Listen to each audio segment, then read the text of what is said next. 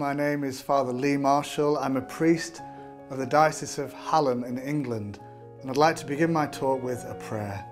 So let's pray. In the name of the Father, and of the Son, and of the Holy Spirit. Amen. Isn't that a beautiful prayer? Let's try again. In the name of the Father, and of the Son, and of the Holy Spirit. Amen. So often when we pray, we go, in the Father, Son, and Holy Spirit, and then we just crack into our, break into our prayer. But that in itself is a beautiful prayer in the name of the Father, and of the Son, and of the Holy Spirit. It tells us who God is. God is Father, Son, Holy Spirit, Trinity.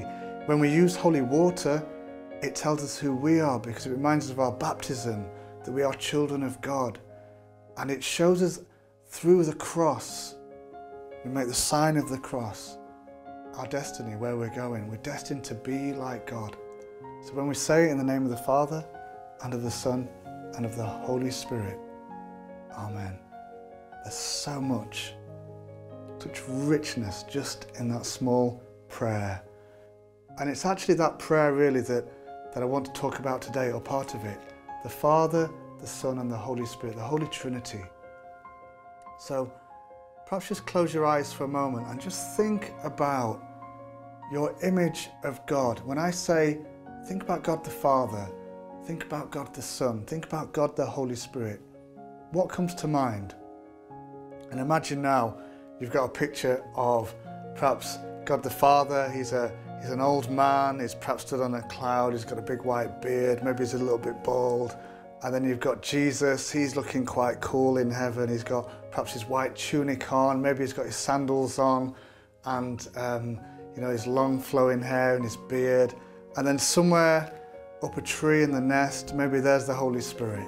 And that's perhaps our image of God. And we can be forgiven for that because that's often how God is depicted in, in our art. But, but that's not God. That's not God. And I want to just talk today and maybe just tease out that that image of God. So to help us to really understand who God is a little bit deeper. So what can we say about God? God is one. God is one. And that is what God revealed in this beautiful book, the Bible, the Old Testament, especially to the people of Israel. So imagine Moses. Moses is out there, he's looking after his father-in-law's sheep. And this is Exodus 3. And he's tending the sheep and all of a sudden he comes to the Mount, Mount Horeb and he sees this, this burning bush and he goes to investigate and as he, as he gets closer, as he gets closer to the bush, the bush, the Lord says, Moses, Moses, he says, here I am. Take off your sandals because this is holy ground. So Moses takes off his, his sandals and God says, I am the God of your father, the God of Abraham, the God of Isaac, and the God of Jacob. So Moses, he covers his face. And then there's this conversation between God and Moses, and God gives Moses this mission to go and free the people from Egypt. But then Moses turns to God and says, If I come to the Israelites and say to them, The God of your ancestors has sent me to you, and they ask me, What is his name? What shall I say? And here is perhaps one of the most important verses in the Bible, Exodus 3:14.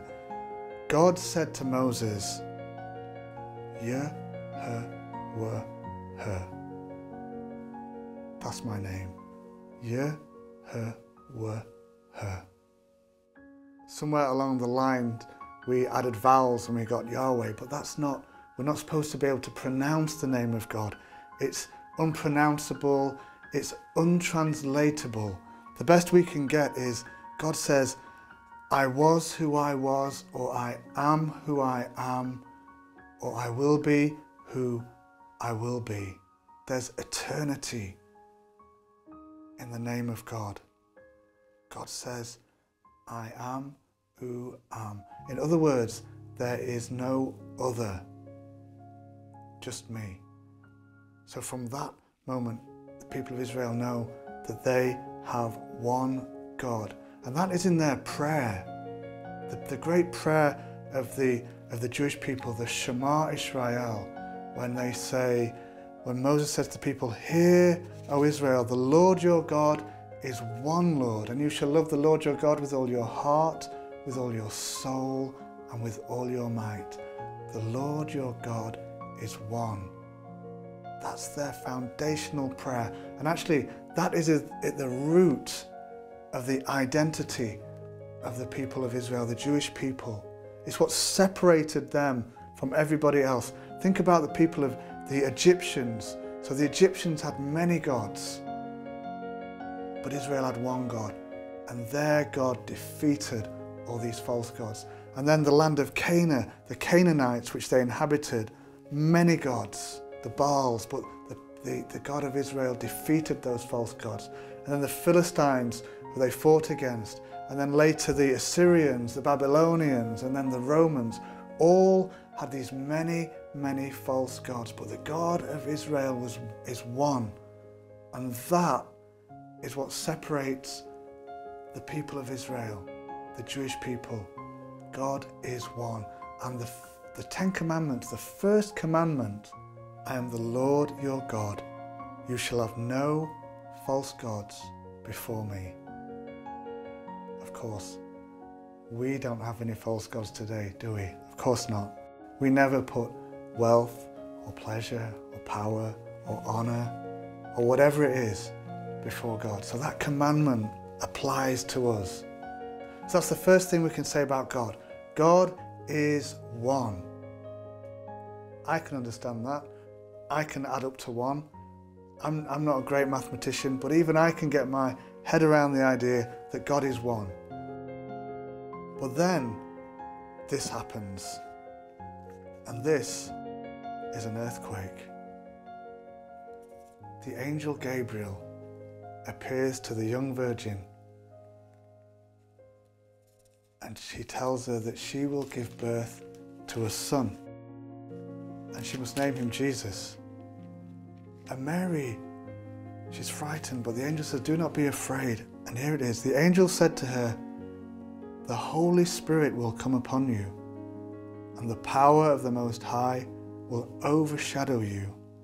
Therefore, the child to be born will be holy. He will be called Son of God. That is a theological earthquake.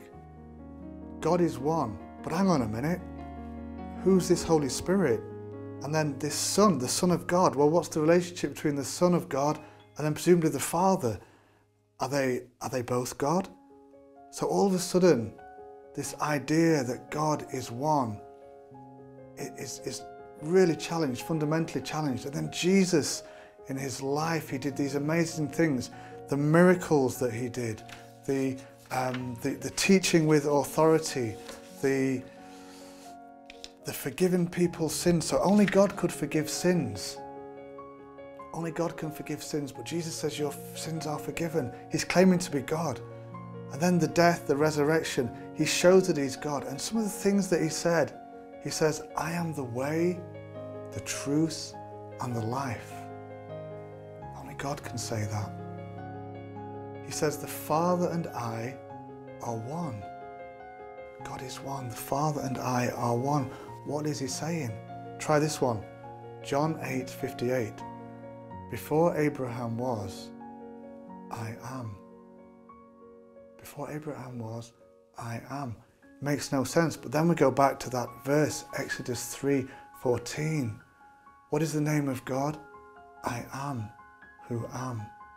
Jesus takes the name of God. So Jesus claims to be God. And then he introduces this other character, the Holy Spirit. John 14, verse 15. I will ask the Father, and he will send you another advocate, another one, another helper, another one like me. This is the Spirit of truth. Acts 5 To sin against the Holy Spirit is to sin against God. So, confused? God is one. Father is God. Jesus is God. The Holy Spirit is God. Where does that leave us? And the church then, in those early years after the resurrection, started this process of discernment and working all of this out. And then finally, we come up with a formula that we understand today the Holy Trinity. God is one, but three persons Father, Son, and Holy Spirit. It's a mystery. The words we have are finite, they're flawed, they're, they're limited. And we're trying to describe God who is infinite with our human words. So, even just what I've said, God is one, but three persons within God. As soon as we think of persons, we think of human beings. But that's not God. God is a mystery. And this is the best way, the best way we can understand, the best words we can use. Father, Son, and Holy Spirit. Three persons, one God. And so, the best we can do really then in our humanity to describe God is to say, well, what is God like? So we get these similes. So we have St. Patrick, God is like a shamrock. Or another one, God is like the sun. So you have the Father as the sun, the rays of the sun, perhaps Jesus, and then the, the heat, the light from the sun, the Holy Spirit. But all these images are flawed. Another one which I used to love is the atom. So the atom, which is the indivisible unit, surely that's a great image of God. The atom, which is one, but then within the atom, you've got a proton, a neutron, an electron. But then they split the atom, so we can't use the atom anymore. Or perhaps we could say God is like a mansion, and the Old Testament reveals the splendor, the beauty, the awe of this wonderful mansion which is God. Then in the New Testament, Jesus opens the door and invites us into the mansion, and we discover that there's just three magnificent rooms. It's still one building, but within it, we get to the interior of God. But all of these images are flawed. All of them, in some way, are limited. The best that we have, the best description that we can use for God is what God reveals Himself, and it's this God is love. God is love. And in that, that reveals that God is a relationship because to say God is love, if I say, if I say I love, I love you, that's totally different to saying that I am love. If I am love, well then love must have a lover, a beloved, and this force that binds the lover and the beloved, which we call the love that binds them. And subject and object and the love that binds them. So to say that God is love implies a relationship. The Father is the lover, the Son is the beloved, and that force, that love that binds them, that unites them, is the Holy Spirit. So God is love reveals that God is not static. God is not like a mountain or God is not a cloud of gas or, or, or whatever. God is a relationship, a relationship of love. St. Catherine of Siena talks about the dance, the, trin- the dance of the Holy Trinity, and we're invited into that dance. It's movement, it's relationship. And what is the best way that we can see love in our lives? Surely it's the family. The family. Forget about the atom, the sun, um, the mansion, all these images that we can use for God. The family is the best image a family of love, which is also creative, generative, which is God. So perhaps your, your family is not is imperfect. All families are imperfect, but imagine your broken family perfect. How it would be. And that, for me, is our best way of seeing what God is like. St. John Paul II put it beautifully. He said, God, in his deepest mystery, is not a solitude, but a family. Since he is himself fatherhood, sonship, and the essence of the family, which is love. What a beautiful quotation that is from our Pope, St. John Paul II. And actually, just to round all this up now, everything I've said is revealed or contained, rather, right at the beginning of the Bible. St. Augustine said that the New Testament is hidden in the Old and the Old reveals the New. So let's go right back to the beginning, the book of Genesis, chapter 1. God said, Let us make humankind in our image, according to our likeness. God is a relationship. It's revealed there, our. So God created human, humankind in his image. In the likeness of God he created them, male and female he created them. The family. The family is our best image of God.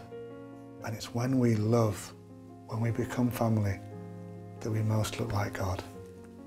So let's conclude with a prayer, and a prayer which gives glory to God as the Trinity.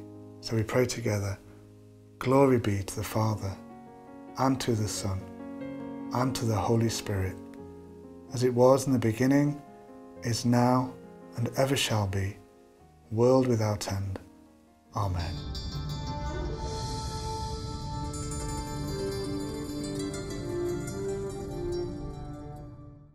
I'm Bishop David McGough, an auxiliary bishop here in this archdiocese. I'm just so delighted through yourselves, Christian faith will have a voice. And you're here today giving voice to that media. The greatest gift that any of us has is the gift of life itself.